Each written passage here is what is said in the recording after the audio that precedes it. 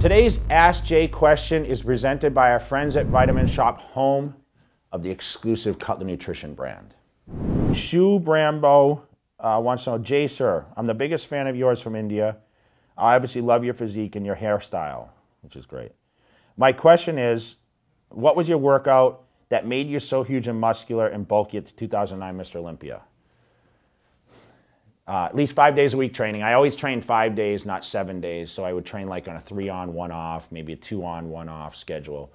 Uh, focus on doing one to two body parts a day. I mean, I did back one day, chest one day, legs one day, shoulders one day. But you know, so that's how I kind of went through it. Arms one day, whatever it is.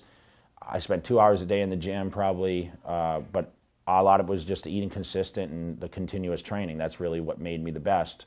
And remember, it's years and years of doing that. It's not just 2009, but it's you know the years that built up to that.